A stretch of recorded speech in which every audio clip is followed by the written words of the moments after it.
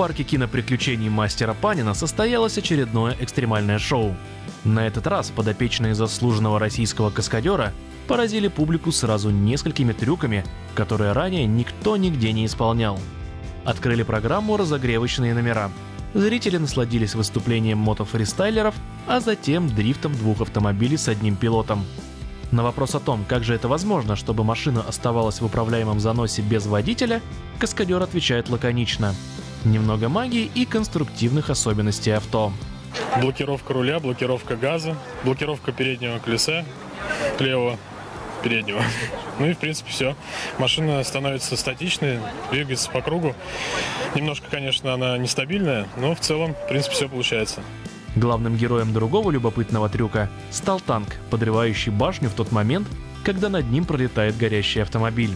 Поразил публику и пылающий мотоциклист, проехавший несколько кругов по площадке. Русский «Форсаж» установил два мировых рекорда, продемонстрировав уникальные трюки. Первый – каскадер отталкивается от крыши автомобиля и пролетает сквозь подожженную конструкцию, возвращаясь в итоге на стартовую позицию. Второй исключительный номер – сальто с пылающей вышки, которую выбивают из-под ног акробата два автомобиля. Ни в том, ни в другом случае права на ошибку нет. Страшно, но очень зрелищно. Самое сложное, честно говоря, собраться на него. Просто вот на, на самом деле настроиться на то, вот в голову себе вбить, то, что на тебя будет лететь две машины со скоростью больше 70 км в час. Вот это, наверное, самое сложное. Прыгнуть все это, типа, это, ну, не так сложно. Вот самое сложное это залезть, встать и вот просто понять, что ты сейчас можешь это делать.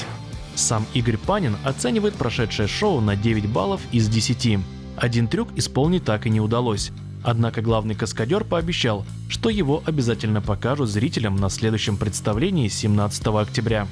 Мы не копируем все эти вещи.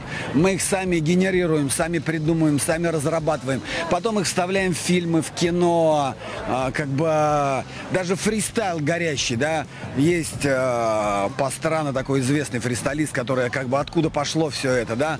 У него такой свой нитроциркус. И то он у нас лизал, и то он только делает фонтанные магниевые. А у нас живой огонь автомобили, мотоциклы, танки, трюки и много-много огня. В парке киноприключений «Мастер Панин Парк» отгремело очередное яркое шоу. И, судя по всему, зрители остались очень довольны. Ну, мы, по крайней мере, точно.